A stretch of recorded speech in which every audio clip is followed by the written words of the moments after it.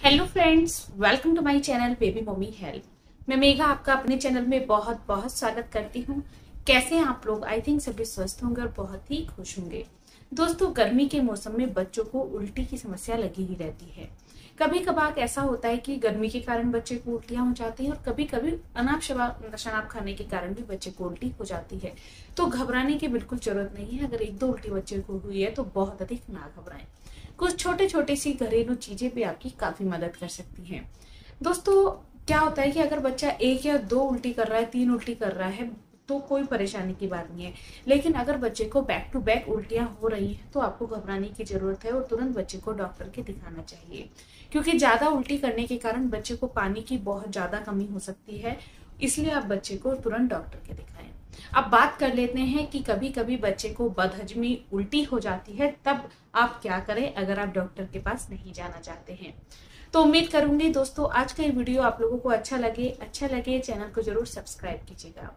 दोस्तों, सबसे पहली चीज़, ये सारी जो चीज़ें मैं आपको बता रही हूँ, ये बता रही हूँ एक साल से बड़े बच्चे के लिए। क्योंकि एक साल से छोटा बच्चा ज़्यादातर जो है दूध पर ही रहता है और जो एक साल से छोटे बच्चे को हम बहुत सारी चीज़ें नहीं खिला पाते हैं।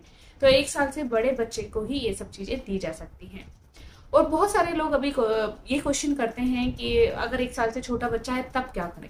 देखिए, अगर आप बच्चे को दूध दे रहे हैं और बच्चा दूध की उल्टी कर दे रहा है तो मैंने पहले भी बताया कि आप दूध में या तो थोड़ा सा अदरक इलायची या फिर सौंप पकाकर बच्चे को दीजिए।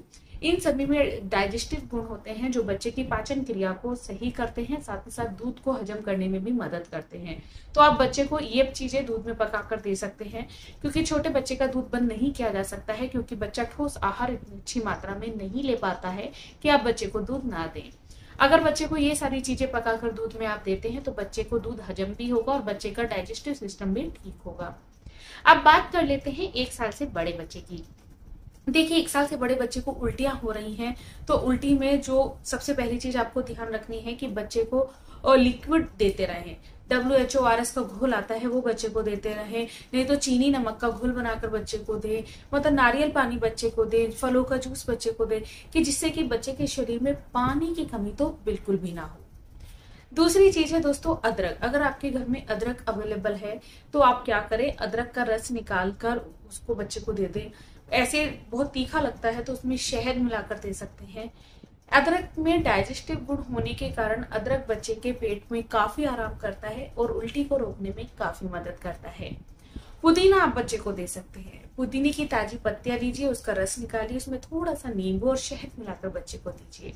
तुरंत बच्चे को डकार भी आएगी। अगर खाने के कारण बच्चे को ऐसा हुआ है तो वो खाना भी हजम हो जाएगा और बच्चे की उल्टियाँ भी बंद हो जाएँगी। सौंफ बहुत कारगर है। सौंफ को पानी में उबाल लें और आधा कप पानी कर लें उसका तो बच्चे को दो तीन बार में पिलाएँ।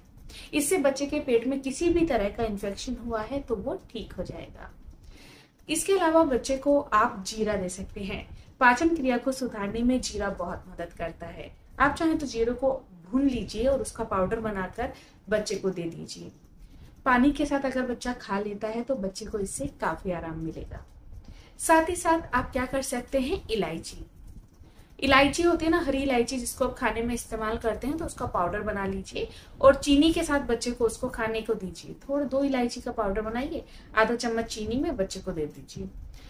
इससे क्या होगा कि जितनी भी ये चीज़ें मैं आपको बता रही हूँ, सारी एक साथ नहीं करनी है, आपको एक एक करके चीज़ें इस्तेमाल करनी है और उसमें टाइम गैप भी आपको रखना होगा। अगर आपका बच्चा ये सब चीज़ें ले पाता है तो इससे बच्चे का डाइजेस्टिव सिस्टम तो अच्छा होगा ही होगा।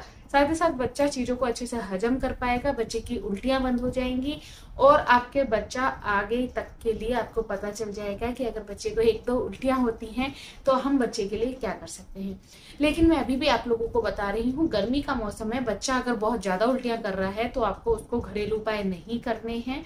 उसको डॉक्टर के पास जाना है क्योंकि अधिक पानी की कमी होने से गंभीर सिचुएशन भी कभी कभी हो जाती है। तो उम्मीद करती हूँ दोस्तों, आज का ये वीडियो आप लोगों को अच्छा लगा होगा। अच्छा लगा हो चैनल को ज़रूर सब्सक्राइब करें लाइक करें कमेंट करें और शेयर करना बिल्कुल भी ना भूलें। Thank you for watching baby mummy help thank you नमस्कार।